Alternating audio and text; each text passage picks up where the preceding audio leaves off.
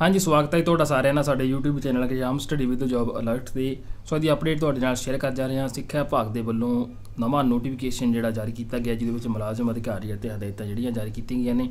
ਸੋ ਕੀ ਇਸ ਨੋਟੀਫਿਕੇਸ਼ਨ ਦੇ ਵਿੱਚ ਹਦਾਇਤਾਂ ਕੀਤੀਆਂ ਨੇ, ਕਿਸ ਨਾਲ ਸੰਬੰਧਿਤ ਹੈ, ਪੂਰੀ ਅਪਡੇਟ ਤੁਹਾਡੇ ਨਾਲ ਸ਼ੇਅਰ ਕਰਾਂਗੇ। ਸੋ ਡੇਲੀ ਅਪਡੇਟ ਮਿਲਦੀ ਰਹੇ ਚੈਨਲ ਨੂੰ ਸਬਸਕ੍ਰਾਈਬ ਤੇ ਬੈਲ ਆਈਕਨ ਨਾਲ ਤੇ ਪ੍ਰੈਸ ਜ਼ਰੂਰ ਕਰ ਲਿਓ। ਤਾਂ ਸ਼ੇਅਰ ਕਰਦੇ ਹਾਂ ਜੀ ਪੂਰੀ ਜਾਣਕਾਰੀ। ਤਾਂ ਇਹ ਜੋ ਨੋਟੀਫਿਕੇਸ਼ਨ ਪੰਜਾਬ ਸਰਕਾਰ, ਸਿੱਖਿਆ ਵਿਭਾਗ, ਸਿੱਖਿਆ ਸਾਖਾ ਨੰਬਰ 6 ਤਾਂ ਵਿਸ਼ਾ ਜਿਹੜਾ ਸਕੂਲ ਸਿੱਖਿਆ ਵਿਭਾਗ ਦੇ ਅਧਿਕਾਰੀਆਂ, ਕਰਮਚਾਰੀਆਂ ਨੇ ਛੁੱਟੀਆਂ ਸੰਬੰਧੀ ਜਿਹੜੀਆਂ ਨਵੀਆਂ ਹਦਾਇਤਾਂ ਜਾਰੀ ਕੀਤੀਆਂ ਗਈਆਂ ਨੇ। ਤੋ ਵਿਸ਼ਾ ਅੰਕਿਤ ਮਾਮਲੇ ਸੰਬੰਧੀ ਪ੍ਰਮੁੱਖ ਸਕੱਤਰ ਸਕੂਲ ਸਿੱਖਿਆ ਦੇ ਅਧੀਨ ਧਿਆਨ ਵਿੱਚ ਆਇਆ ਕਿ ਡਾਇਰੈਕਟੋਰੇਟ ਅਤੇ ਜ਼ਿਲ੍ਹਾ ਪੱਧਰ ਦੇ ਅਧਿਕਾਰੀਆਂ ਵੱਲੋਂ ਪੋਰਟਲ ਤੇ ਪ੍ਰਾਪਤ ਆਨਲਾਈਨ ਛੁੱਟੀਆਂ ਦੀਆਂ ਪ੍ਰਤੀ ਬੇਨਤੀਆਂ ਬਿਨਾਂ ਸਵੈ ਸਪਸ਼ਟ ਸਿਫਾਰਸ਼ ਦੇ ਕੇਵਲ ਉੱਚ ਅਧਿਕਾਰੀਆਂ ਨੂੰ ਫਾਰਵਰਡ ਕੀਤੀਆਂ ਜਾਂਦੀਆਂ ਹਨ। ਇਸ ਲਈ ਸਮੁੱਚੇ ਮਾਮਲੇ ਨੂੰ ਗੌਰ ਨਾਲ ਵਿਚਾਰਨ ਉਪਰੰਤ ਆਪ ਨੂੰ ਹੇਠ ਲਿਖੇ ਅਨੁਸਾਰ ਹਦਾਇਤਾਂ ਨੇ ਜਿਹੜੀਆਂ ਕੀਤੀਆਂ ਨੇ। ਪਹਿਲੀ ਲਿਖੀ ਹੈ, ਛੁੱਟੀ ਮਨਜ਼ੂਰ ਕਰਨੀ ਬਣਦੀ ਹੈ ਜਾਂ ਨਹੀਂ?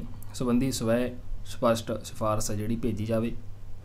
ਅਧਿਕਾਰੀ, ਕਰਮਚਾਰੀ ਦੇ ਛੁੱਟੀ ਦੇ ਸਮੇਂ ਦੌਰਾਨ ਬਦਲਵੇਂ ਪ੍ਰਬੰਧ ਬਾਰੇ ਇੰਦਰਾਜ਼ ਜਿਹੜਾ ਦਰਜ ਹੈ, ਉਹ ਕੀਤਾ ਜਾਵੇ। ਉਪਰੋਕਤ ਹਦਾਇਤਾਂ ਦੀ ਇਨ ਬਿਨ ਪਾਲਣਾ ਕਰਨੀ ਯਕੀਨੀ ਬਣਾਈ ਜਾਵੇ।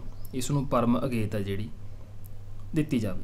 ਤਾਂ ਇਹ ਛੁੱਟੀਆਂ ਦੇ ਸੰਬੰਧ ਵਿੱਚ ਜਿਹੜਾ ਉਪਰੋਕਤ ਦਾ ਉਤਾਰਾ ਜਿਹੜਾ ਲੀਵ ਮੈਨੇਜਰ ਦਫ਼ਤਰ ਡੀਪੀਆਈ ਪੰਜਾਬ ਨੂੰ ਭੇਜ ਕੇ ਲਿਖਿਆ ਜਾਂਦਾ ਹੈ ਉਕਤ ਹਦਾਇਤਾਂ ਦੀ ਇਨ ਪਾਲਣਾ ਕਰਨੀ ਜਿਹੜੀ ਯਕੀਨੀ ਬਣਾਈ ਜਾਵੇ, ਤਾਂ ਮੁਲਾਜ਼ਮਾਂ ਦੀਆਂ ਛੁੱਟੀਆਂ ਨਾਲ ਸੰਬੰਧਿਤ ਹੈ, ਜੋ ਵੀ ਮੁਲਾਜ਼ਮ ਛੁੱਟੀ ਲੈਂਦਾ ਹੈ, ਤਾਂ ਉਹਨਾਂ ਲਈ ਇਹ ਜ਼ਰੂਰੀ ਅਪਡੇਟ ਹੈ।